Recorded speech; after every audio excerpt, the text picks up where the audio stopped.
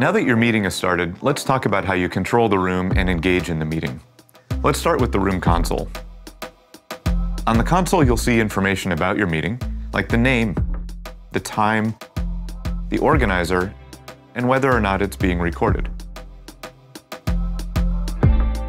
Most of the controls you see on the console align with those on the desktop experience. From the Room console, you can select the layout of people and content visible on the front of Room displays. You can select from Video Gallery only, Video Gallery and Content, or Content only, Together mode, and our newest layout, Front Row, which is specifically designed for hybrid meetings, bringing the video gallery to eye level and surrounding the meeting content with other relevant experiences that keeps everyone in the room informed and included in every aspect of the meeting. On the right side of the console, you can see and manage the full participant roster. You can scroll through to see who is there, invite more people, or request that somebody invited to the meeting join now. If someone in the meeting has raised their hand, you'll see them listed at the very top of the roster, and of course in a prominent location on the front of room screen as well. If someone forgot to mute and is making some noise, you can mute them and if they're really misbehaving, you can even kick them out of the meeting. You can also use the console to pin specific participants to the front of room screen or spotlight them so everyone in the meeting can focus just on them. I'm going to pin Joanna to our front of room screen.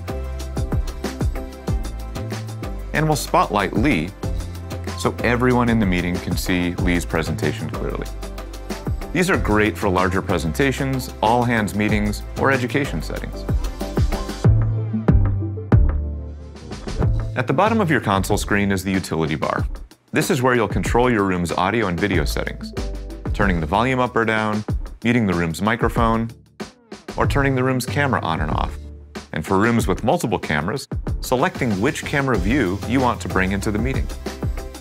It can all be done from the console. It's a complete control device for your meeting room. Raising your hand and reacting to others in the meeting can be done here as well, just as you would from your own personal device, except now you're raising the virtual hand of the room and reacting on behalf of everyone in the room.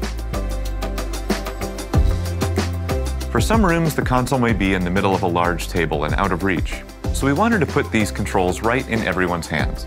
People in the meeting room can use the Room Remote feature in the Teams mobile app, giving every person in the room their own control device.